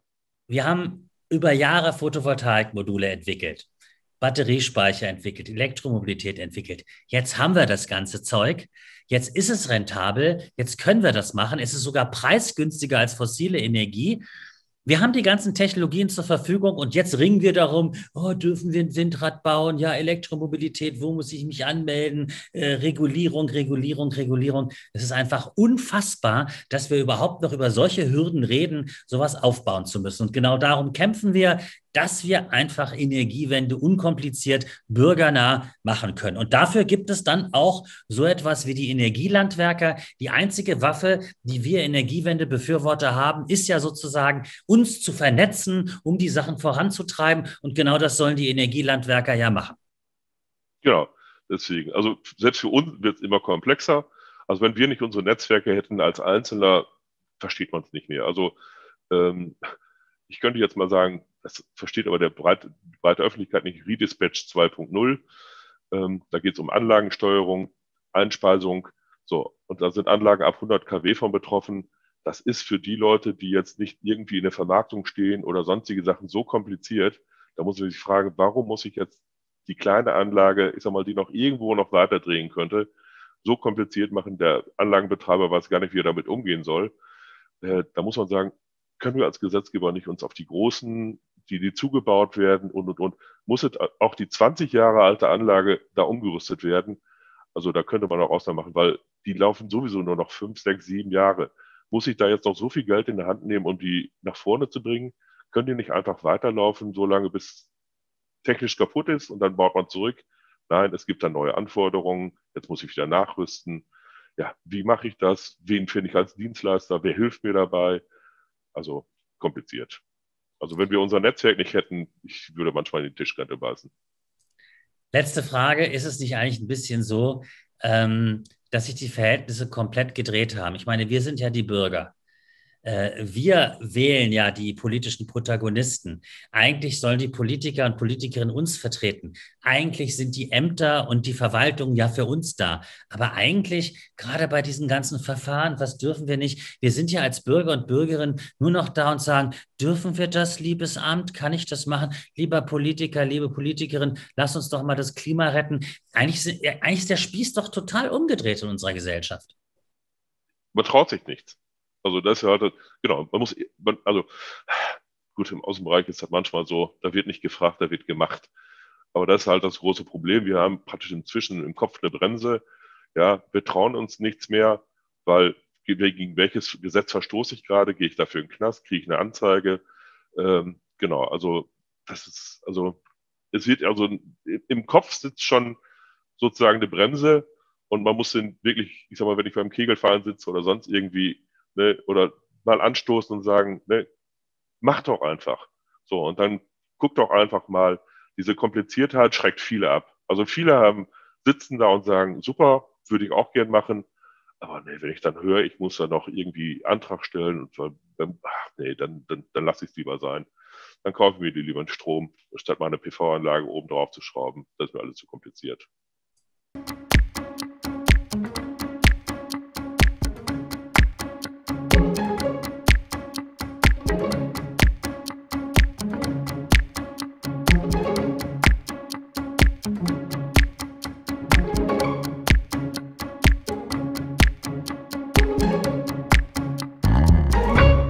Zum Schluss eine Frage. Ich möchte Dr. Köhler nochmal die Möglichkeit geben, sich bei den Wählerinnen und Wählern unbeliebt zu machen, unseren Wahlprüfstein. Wir haben gerade über den Emissionshandel gesprochen. Äh, und wenn Sie einen Emissionshandel machen wollen, wenn Sie das als zentrales Instrument benutzen wollen, dann müssen Sie die Bürger und Bürgerinnen in den Emissionshandel mit einbeziehen. Dann heißt, dann muss es auch Verschmutzungsrechte und auch Verschmutzungsgrenzen für die Bürger und Bürgerinnen geben, die ja dann auch durch die Gegend fliegen. Äh, und ich weiß, dass es europäische Konzeption, Konzeptionen gibt, verschiedenste Konzeptionen gibt, auch die Bürger in den Emissionshandel mit einzubeziehen und zu sagen, auch für die Bürger gibt es Grenze der Verschmutzung. Wie sieht die FDP das? Das, das wäre tatsächlich zu, zu bürokratisch. Wir hatten ja eben sozusagen über die Bürokratien eines neuen Emissionshandels, den die Bundesregierung eingeführt hat, gesprochen. Der ist ja kein Emissionshandel, sondern eine CO2-Steuer. Weil es wird ein Preis pro Tonne festgelegt, der weder das Zertifikat handelbar macht, noch irgendwie eine Obergrenze festlegt. Das ist das, was die Bundesregierung schon eingeführt hat. Es wirkt seit dem 1.1. diesen Jahres. Ähm, und selbst da ist es ja nicht so, dass die Bürgerinnen und Bürger quasi zur Kasse gebeten werden. Weil jetzt jemandem zu sagen, in Deutschland haben wir so einen Pro-Kopf-Verbrauch von 11 bis 12 Tonnen, je nach Rechnung, zu sagen, für diese 11 bis 12 Tonnen musst du jetzt am Ende des Jahres irgendwie Zertifikate nachweisen, das wäre Wahnsinn. Also zumindest wir als, als Partei, die ja wirklich viel gegen Bürokratie tut und die da immer auch sehr scharf darauf achtet, dass die Regeln einfach sind, gut umzusetzen sind. Das würden wir niemals machen. Wir schlagen was anderes vor. Wir schlagen einen sogenannten Upstream-Handel vor. Bei der Industrie und der Energie, so wie es im Moment läuft, ist es einfach, die, die, die Akteure, weil es wenige große Akteure sind, wenige in Anführungszeichen, große Akteure sind, mit in einen Emissionshandel einsetzen. Beim Verkehr und insbesondere bei der Wärme wird das aber viel schwieriger, weil ja jeder Auto fährt und jeder eine Heizung oder jedes Mietshaus eine Heizung im Keller hat.